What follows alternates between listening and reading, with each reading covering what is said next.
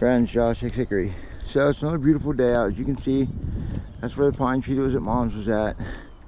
Turned the other one into a nice little burn ring for her. Backyard, beautiful Pennsylvania day.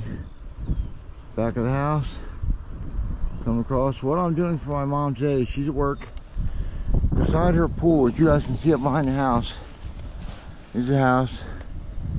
Here's the pool. Little gazebo. But along my mom's fence, she had a fence put in. We got these pampas grass. Great big tall grasses. Cut them down every year, they come back. I'm gonna show you guys a little trick to cut them down so you don't have such a mess all over the place. What you do is, you know what? Let's see if I can just put you guys with me.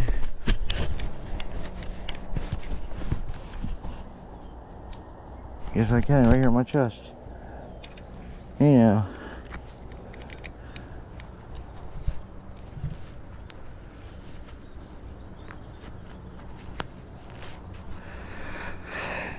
Okay, guys, here we go.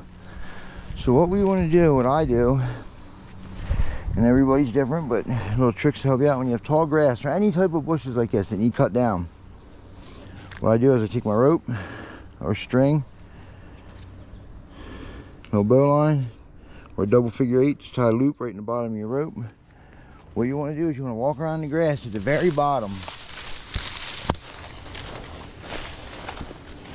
with your loop. So you see what I did here? Now I got my rope going along my loop. What I'm going to do is put my rope through the loop. Now obviously it's going to pull this way because that's, that's my rope. So we're going to pull them tight. And keep them from going up. You want to hold your hand on your knot, cinch them down, continue to tighten them up. Tighten him. One more good yank. Now away from the knot so it doesn't slide. Around your grass once.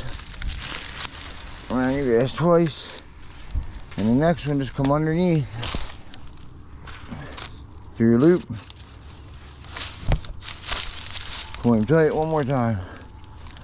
What that does, that half hitch created a bite. Now, your rope ain't gonna slide. See, now you see I have this grass that was just 10 feet across, all spread out, right? Now it's all tied up together.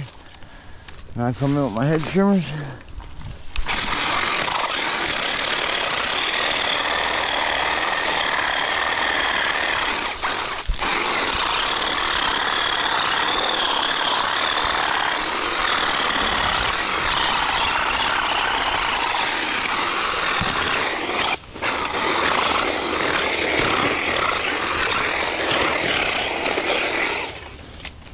Great big bush. Come over here, grab my rope, and these things make a mess, but guess what? Not when I'm tied in string, the whole bush picks up.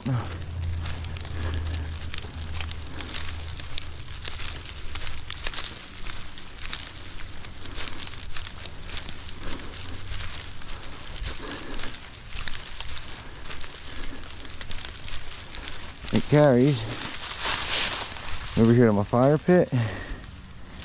Since I didn't tie any knots besides hitches, all I have to do find the end of my rope right here.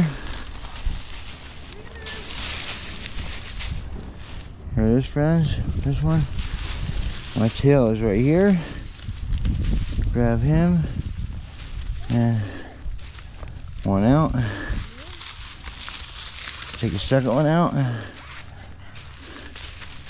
Take this out. Hon, there's Megan, guys. Hi. and like I said, look, so two sliders, and now this grass is there. And look at that, nice and clean. I'm on to the next one. Love you guys. Keep a handle on it.